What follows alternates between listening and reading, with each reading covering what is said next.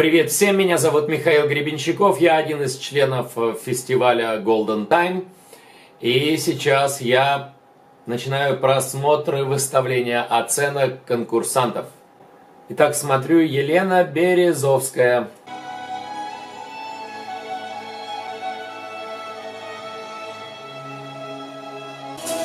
Он классный дуэт э, Елены Березовской с каким-то диджеем. Очень все стильно, актуально. Так много труда вложено в этот клип.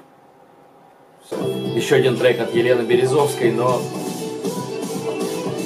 вот скрипка класс. И вот пока играла скрипка и не появилась вот эта женщина, это я не пойму, это она вот появилась Елена Березовская, и она вот это непонятно, зачем этот микрофон. И,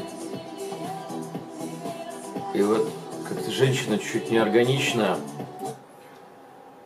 Так что вот этот трек Елены Березовской не набирает. Такой красивый клип у Екатерины Коваленко. Так, там-то в группе в предыдущем треке непонятно, не раскрывается человек, а тут видно, э, что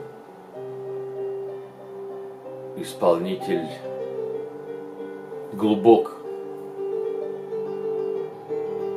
Она прям стильно, органично в таком черно-белом клипе. Ну что, парень неплох. Приедет в Москву.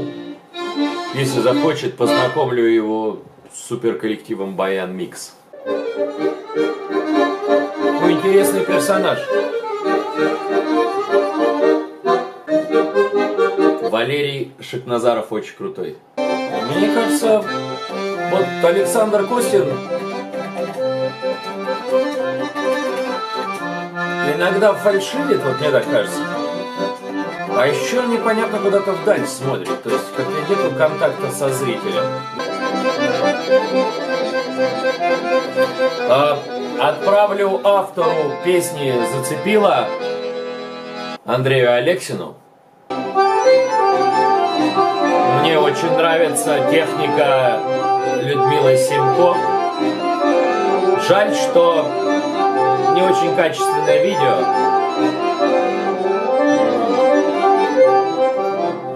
Поставлю Остапенко хорошую оценку. Мне прям нравится очень.